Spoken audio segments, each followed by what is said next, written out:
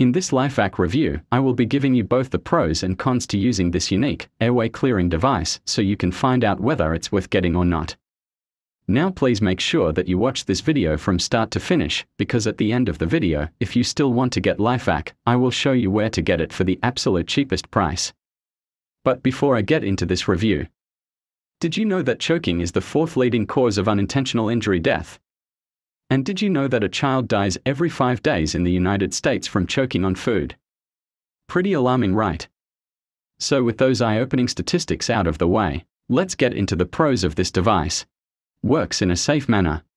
When someone is choking, typically people will resort to back slaps or abdominal thrusts. But these can often be complicated, have a high failure rate, and even be dangerous, resulting in broken ribs. LifeVac, on the other hand, uses a smart suction system that is totally safe. This vacuum force smoothly pulls the object upward, instead of trying to use blunt force. Simple and comfortable to use, this device has been built with comfort in mind as it dislodges food and objects, and, unlike other devices, it doesn't require a tube to be inserted down the throat. There are only three steps to using LifeVac and they are place, push, and pull. What's even better is that you don't need training or a prescription to use it. It comes with an interchangeable mask, one for kids and one for adults. It works effectively with toddlers, children, adults, and seniors. You can even use this device on yourself if you are choking. Simply just works. This uncomplicated device does exactly what it says it does, and it does so with maximum effectiveness and efficiency. Included with the kit is a practice mask so you can quickly learn how to use this device if you ever need to use it.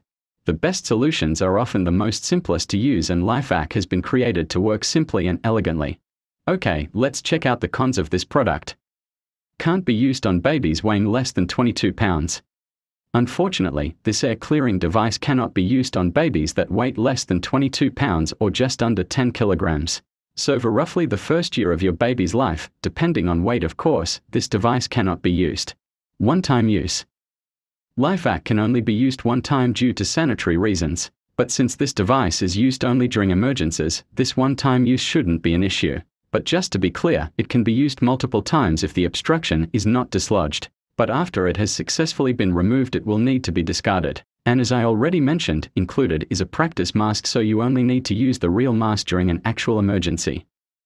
Overall, LifeVac is one of those devices that everyone should have as a safety precaution. It's super simple to use. It's very comfortable to operate.